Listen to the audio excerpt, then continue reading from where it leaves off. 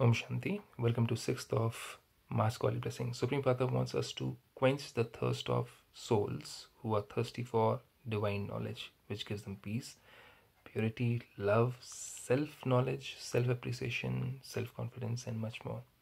So, Supreme Father says, May you be a greatly charitable soul and quench the thirst of souls who are thirsty for the nectar of knowledge.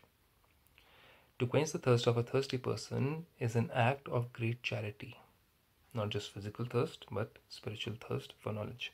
When someone doesn't obtain water, he craves it. In the same way, because of not receiving the nectar of knowledge, souls are desperate and are experiencing sorrow and peacelessness. We all can see all around the world what is happening because of lack of knowledge, lack of wisdom, and because of bad karmas, they are experiencing sorrow and peacelessness. And bad karma is happening why? Because of lack of wisdom and knowledge. Therefore, give them the nectar of knowledge and quench their thirst. Just as you make time for your meals because it is necessary, so it is also necessary to carry out this act of charity. So, just like we're thinking about, okay, now I have to have this, I have to have my lunch, I have to have my breakfast, I have to have my dinner. Suddenly, God says, think about giving this knowledge to somebody. Don't just survive in this world by eating.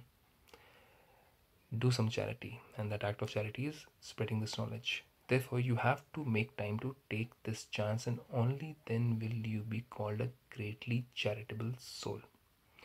How do we do this? Is what we learn Brahma Kumaris, and it gives an immense amount of pleasure and happiness, spiritual pleasure and happiness when we do this kind of charity.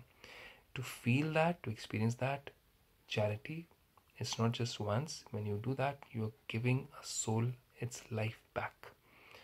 To learn more about it, do visit the Brahma Kumari Center. Om Shanti.